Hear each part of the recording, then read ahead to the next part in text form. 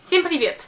Если вы заметили последнее время, как-то у меня видео не каждые два дня, не каждые три дня а, выходит на интернет, я обещаю вам, что скоро мне серьезно надо заняться хорошими видео, потому что я не знаю, как-то я я просто сама не рада, как часто я их вкладываю. Проблема в том, что сейчас у меня есть там два видео, которые мне надо выложить, но это не от меня зависит, когда мне надо выкладывать видео, потому что я с компаниями работаю, и они говорят, вот это число надо видео выложить, и я говорю, это же 1 октября должна выложить видео, а как-то есть немножко времени. Да, октября 1. И, конечно, у меня экзамены, я пробую школу закончить в этом году.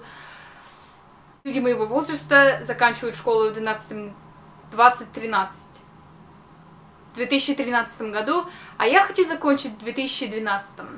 Так что я буду раньше студент. Не знаю.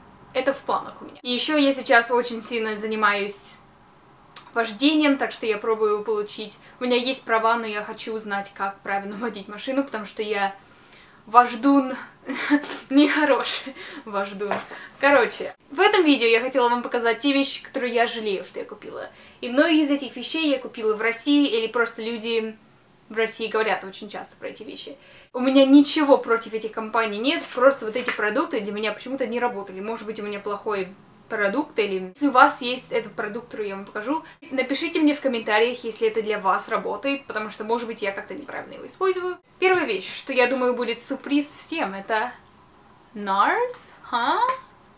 NARS румяна? Не NARS румяна не работают. Вот это самые два известные цвета, и это я купила на eBay, ну, по-моему, ну, не по-моему, но это настоящие. Так что это не китайская там подделка, это настоящая вещь. На пальчики неплохо, да? Но вот когда на руку, вот ничего, так положил на кисточку, все нормально, а потом на лицо как-то ничего не видно. И другой оттенок такой же. Вот я беру его, вроде бы неплохо на пальчике, а здесь окей. Но это был плохой пример. Ведь у меня плохой достался. Я никогда не использую вот эти румяна, так что я, конечно, жалею, что я их купила, потому что они не дешевые, и они не работают. Не знаю, может быть, у меня плохие достались, потому что все же так сильно любят их, ну... Я бы сказала, что не стоит их покупать, потому что у меня румяна от MAC, я их на каждый день использую, они качественные, профессиональные, и... Вторая вещь, может быть, вы будете разочарованы, что мне это не понравилось, от Натура Сибирика.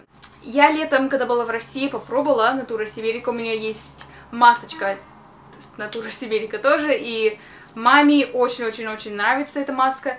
Мне... Э, ну вот это шампунь, это ужас полный. Называется шампунь для сухих волос. У меня вроде бы сухие, ну они не такие уж сухие, но они немножко сухие здесь, на кончиках. И корни у меня, конечно, не сухие, но Просто я думала, сухие волосы здесь, они, конечно, у сухие, так что окей, у меня сухие волосы. После этой шампуни волосы на 10 раз более грязные, чем они были. Сколько бы я ни промывала голову, не стояла там, делает мои волосы более грязными. И я видела многие видео, по-моему, Лена говорила, что там надо привыкнуть к этому. Я думаю, что шампунь должна работать. И это все, точка. Не знаю. Вот это мне очень не понравилось. Эм, не знаю, кому она подойдет. А, еще одна шампунь от Tresemme. Это Tresemme какая-то натуральная линия. И почему мне это не понравилось? Вот мама мне это купила. Я обычно не использую шампуни с сульфатами, потому что у меня окрашенные волосы немножко, и просто я не вижу причины использовать сульфаты, если есть многие шампуни без них, которые работают просто отлично. Так что вот это Tresemme натуральная линия. Второй ингредиент – сульфат. Непонятно, если это натуральное, и здесь написано меньше сульфатов какие-то вот, lower sulfates, а второй ингредиент сульфат. Но всегда читайте состав. Следующая вещь, я думаю, что вы тоже согласитесь со мной. Garnier BB Cream. Было одно время, когда просто все обожали этот BB Cream, все просто... Окей, okay, я его не купила, его мама купила. И в Канаде он стоит бешеные деньги. Он стоит, по-моему, 20 долларов у нас.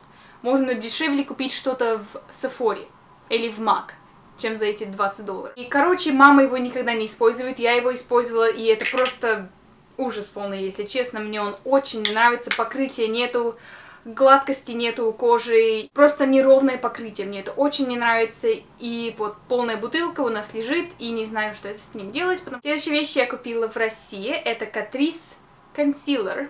Это я перед тем, что приехала переехала. Перед тем, что я приехала в Россию, я почитала все отзывы на Катрис, и это вроде бы был очень хороший продукт от Катрис. Um, ужас полный. Я думаю, я его только купила за вот эти два консилера. Розовый я никогда не использую, зеленый я иногда использую. И просто очень странно покрыть красный прыщ с этим зеленым консилером, потому что надо сначала зеленый, потом 10 слоев нормального, чтобы покрыть зеленый цвет. Как-то, не знаю, не очень мне нравится. А густая ужасная. Липкая, густая вся. Um,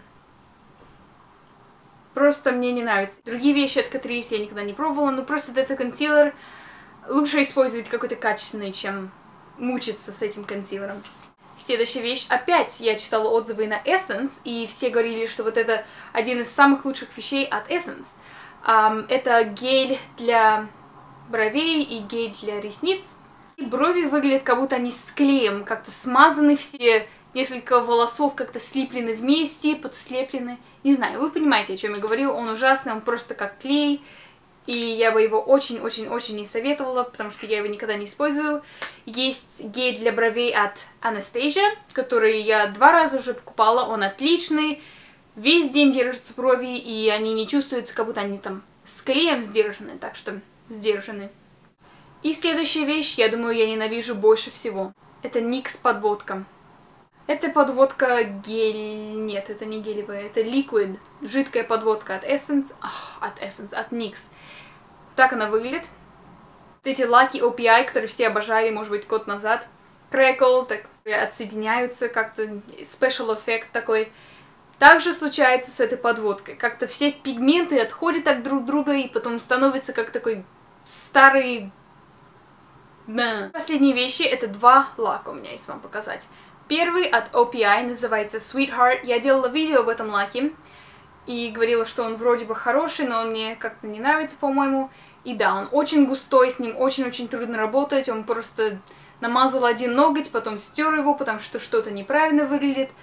Как-то с ним очень-очень трудно работать, я бы его не советовала. OPI лаки мне просто не нравятся, я не знаю почему. Эсси это мой номер один, мне Эсси нравится больше всего. Um, ну, к сожалению, вот этот мне не понравился. Это причем лак, который на мне сейчас, называется Turquoise and Caicos.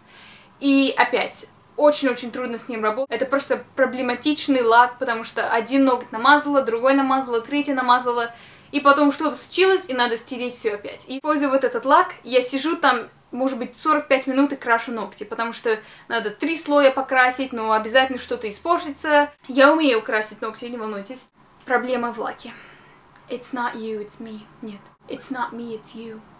Короче, это все вещи, которые я не люблю.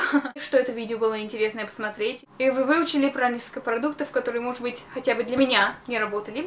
Так что да, спасибо большое за просмотр. Увидимся очень скоро, конечно, потому что я обещаю, будет много видео в октябре, особенно, хотя октябрь это будет очень трудный месяц для меня.